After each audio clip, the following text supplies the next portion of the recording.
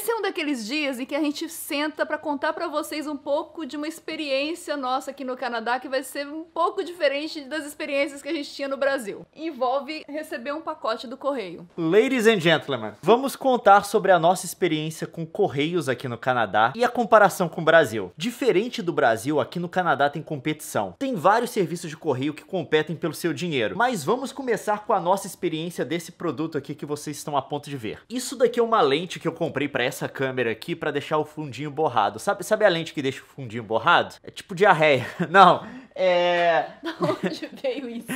Ai, ai, ai. O Leon fez a compra dessa lente antes de ontem. Nós vamos viajar no domingo, a gente não podia esperar. Então ele decidiu pagar um pouquinho mais para essa encomenda chegar no prazo certinho pra gente estar tá aqui ainda. Eu escolhi a opção de postagem overnight, que é basicamente você compra uma coisa, eles mandam no mesmo dia, vem de madrugada para você e De chega avião. aqui. Veio de outro estado. E pra ter a minha lente aqui em um dia, eu tive que pagar, assim, o absurdo de 11 dólares canadenses, que é tipo menos de 30 reais no Brasil. É um Sedex a carta no Brasil, no máximo. Só que tem um porém. A loja não mandou a lente pra mim no mesmo dia. Eles demoraram dois dias pra processar o pedido e só mandaram ontem. Um absurdo, né? Dois dias pra receber um treco que vem de outro estado? Inadmissível. Leon Tá. reclamou. Não, eu reclamei. Eu mandei uma mensagem pra loja reclamando. Aí eu recebi meus 11 dólares de volta e um pedido de desculpa. Então, em vez de receber isso aqui em um dia, eu recebi em dois, sem pagar o absurdo de 11 dólares de postagem que é pra receber uma coisa de um dia pro outro em outro estado no Canadá, via sorry. avião. Sorry, senhor. Mas essa não foi a nossa única experiência, não é só sobre isso que a gente vai contar pra vocês, não. Não. Nessa mesma semana aconteceu outro fato. A gente tem que receber um produto do DHL, que é outro serviço privado de correio. Aí eles não tinham a informação completa da gente, eu tive que entrar em contato com eles. Eles falaram, ó, tá faltando isso, isso e isso. É, a gente não tocou no seu apartamento porque não tinha esses dados e precisa dar com, com os dados completos, é a, é a política da empresa. Aí eu falei, beleza, esses são os meus dados. Aí o cara falou, tá, eu posso entregar isso pra você na segunda. Aí eu falei, segunda eu não tô em casa, não é conveniente. Aí ele falou: Eu- eu vou quando viajar. você quer? Quando você quer receber Quando esse você, produto? é, quando você quer receber? Eu falei, sexta. Tudo bem, vamos en- entregar sexta que vem na sua Eles casa. vão segurar o produto e vão vir com hora marcada. Mas eu nem tava falando dessa experiência quando eu mencionei outra experiência que aconteceu essa semana. Se essa semana mesmo, segunda-feira, o Leon recebeu um telefonema do pessoal do Canada Post. O Canada Post é o serviço público aqui do Canadá. Funciona do mesmo jeito que o correio funciona no Brasil. Eles não, pegam não funciona do mesmo jeito Não, que não, foi. não. é A Pelo amor de lógica, a lógica. Eles Não, pegam tipo, todo é- tipo de postagem, desde é. carta até em- embalagem. Tipo assim, Aí se você manda por um correio público do seu país, ele vai chegar pelo Canadá Post aqui, porque é onde tem correspondência. No caso, a gente tinha uma encomenda que vinha dos correios públicos dos Estados Unidos. É o Então- USPS. Exato, ia sair de lá, ia vir pra cá, ia chegar na gente entregue pelo Canadá Post. E aí, o serviço público americano se confundiu. Eles, eles, eles embolaram o meio de campo. Eu tive que ligar pra lá pra resolver o problema. Só que o serviço público de correio dos Estados Unidos dá assim, dá, dá um Brasil feelings. Passam você por 300 horas de automação no telefone até chegar na hora pra você poder falar com o atendente. Sério? Passaram pro atendente, o tempo de espera entre- era entre uma hora e uma hora e meia. Eu deixei o telefone ligado no Viva Voz, liguei na tomada e falei, vou esperar. Não deu. E eu precisava resolver esse treco no dia. E eu fiquei meio desesperado. Aí eu comecei a, a, tipo assim, a xingar todo tipo de, de serviço de entrega público, toda instituição pública que pertence a governos do mundo, tá?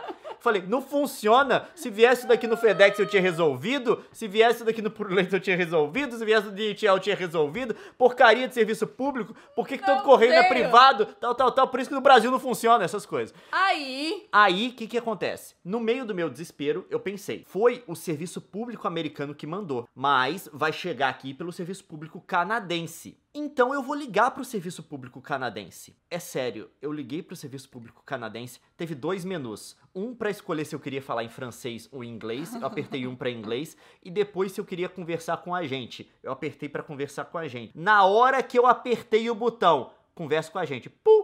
O cara atendeu. olá, senhor. Não, eu fiquei até assustado. não possível. Será que essa é a gravação de espera? Deu... gravação sabe assim, natural, né? Não, não, dá, dá- dá uns 10 segundinhos pra você ficar. Eu tô sendo atendido mesmo? Hã? Não, tá, aí eu conversei com o cara do Canadá, resolveram, eu resolvi o problema em 30 segundos. Sério, foi desse jeito. Eu falei, o que que precisa? Era isso que tá com problema? Tá, tá aqui a correção. tinha uma vírgula no meu endereço que estava errado, aí o cara errava a rua. Eu corrigi. Uma semana depois, liga o, o- o correio do, do Canadá pra mim, o Canada Post. Olá, senhor. Olá, senhor, a gente tá ligando só pra, só pra ter aqui um follow-up, pra ver se seu problema foi resolvido. Eu nem lembrava mais de problema nenhum, Brasil. Eu, falei, Eu falei, teve algum Que problema? problema? Que, que, que, que aconteceu? Ah, cara, não, porque tem uma reclamação aqui. O Leão, reclamação não, moço. Eu, não, não reclamo, reclamo, eu sou imigrante, Eu- moço. não, tá tu- tudo bom, Tá tudo tudo bom, tá tudo, tudo bom, esse país é perfeito. O Canadá! Não, ah, eu não reclamo. Aí o cara falou, não, é porque registraram como reclamação o pedido que quando eu liguei pra alteração poder para de poder alterar, pra poder corrigir o treco. E aí eles ligaram de volta pra mim pra ver se tinha arrumado. Tem um departamento no, no correio público canadense pra ligar pras pessoas depois pra ver se o primeiro atendente resolveu o problema delas. Porque senão, esse cara resolve. O pessoal é muito bem educado. Então, tipo assim, deve ter. Os funcionários que estão disponíveis pros, pros correios aqui contratarem, eles têm um nível de educação alto, assim. Então acaba que acho que o nível de educação te ajuda em várias coisas pra poder agilizar certos processos. Então acho que isso tem um impacto. Mas agora a lente, tá? Vamos mostrar pra vocês a nossa lente nova. Tá aqui. Essa daqui é uma lente pra deixar o fundo borrado. Ela, de- ela deixa o fundo borradinho na câmera. tá bom? Porque ela é grande. É, porque ela dá problema no, no intestino. É isso que ela faz. Vamos testar? Vamos, agora. Vamos trocar disso daí, tá? Seguinte, mil desculpas, eu não sei se a imagem tá estourada. Que é o seguinte. Essa câmera Ela é muito clara, a lente. não, tem um pequeno problema. O visor não vira pra gente. É. E agora ela está contra uma parede. Uma parede não, a, a, a janela, tá? Então, eu, eu não sei se tá certo, não. Deixa eu ver, fica aí. Tá. Eu preciso de uma telinha pra ligar essa câmera. Eu acho que eu não tava sendo enquadrado, não, porque você tá tão bonito ocupando. Aí, aí fica. Você Aí, aí. não, você, tá, você tava certo, eu tinha visto. Nossa, nós também é bonito pra caramba. Tamo? Vocês gostaram da nova lente? Não, Conforme eu for. acho que tá meio estourado. Eu acho que tá meio estourado. Mas ela, ela vai até aqui, ó. Eu vou mostrar pra vocês em tempo real. Nilson, fica aí. Ó. Eu tô enquadrada? Tá. Agora você vai estar mega estourada. Aqui. Isso daqui é a abertura dela. É o seguinte, tem um número relacionado a toda a lente de câmera que é um número F. Quanto mais baixo é aquele número, mais luz a lente permite que ah, chegue ao sensor da câmera. Normalmente, uma lente com F mais baixo é mais cara. Essa daqui, por acaso, é uma lente barata pra preço de lente, assim. Até um quarto de uma lente top Nossa, da é mais Canon, assim, barato, coisa é. do tipo, é. E ela é muito competente. Só que ela tem o f1.4. A gente tá estourada agora porque é muita luz entrando no sensor, tá? Ah, não dá conta, mas eu só queria mostrar a quantidade de coisa que ela, que ela borra no fundo, entendeu? Agora eu vou fechar um pouquinho essa lente pra não ficar tão estourado. Me digam se vocês aprovam a nossa nova lente. Sim.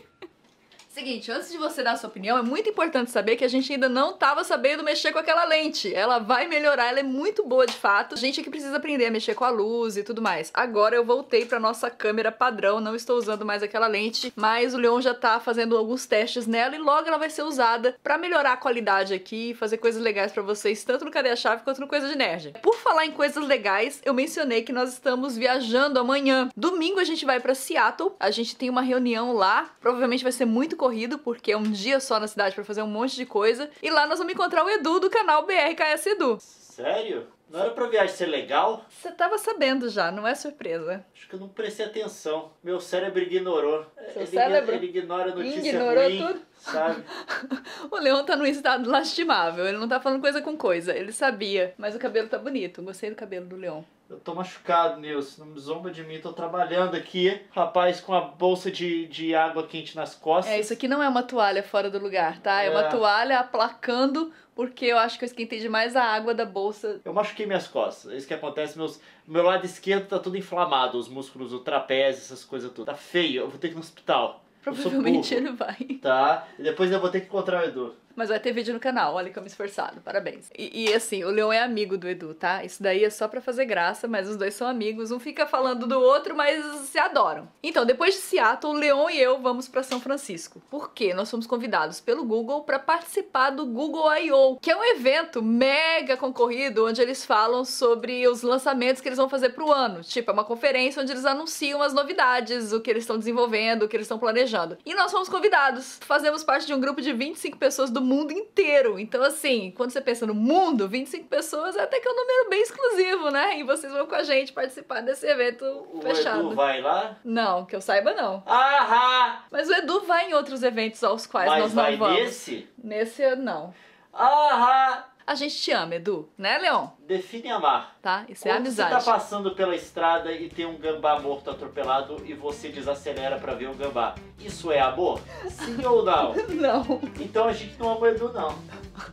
Então se prepara que vai ter conteúdo de viagem na semana que vem. Se inscreva no canal pra não perder nada. Clica aqui do lado pra conferir os vídeos recomendados. E é isso.